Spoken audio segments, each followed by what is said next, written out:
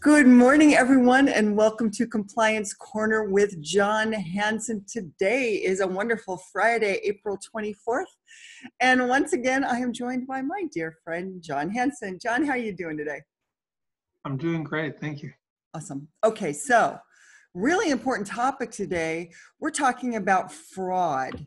And fraud is kind of running rampant right now.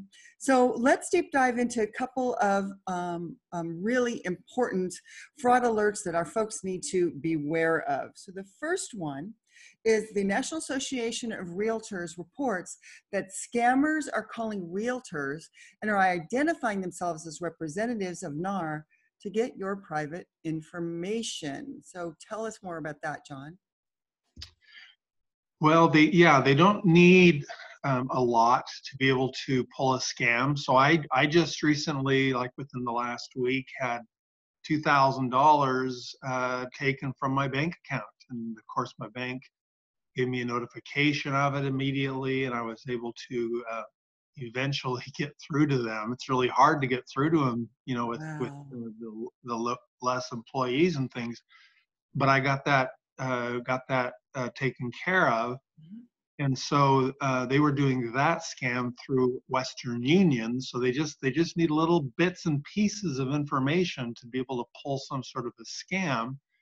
And so the the National Association of Realtors says they've gotten a whole bunch of reports about uh, about unsolicited calls from from uh, from from NAR, and NAR says we would never unsolicited call and ask for your dues and try to collect your dues and try to get information personal information from you so so if it's unsolicited and someone identifies themselves as being from the national association of realtors then it's likely a fraud that is fascinating. It's really fascinating that uh, how uh, something like that happened to you. You know, it's interesting. So we actually got a, a phone call from a bank saying that um, you know they're a collection agency, and we're going. There's no collection, so yeah, I think that one is is people are kind of after your money. And speaking of that, about your clients, escrow companies are reporting that wire fraud is rampant Work with your clients in escrow to ensure they are taking precautions. What more about that, John?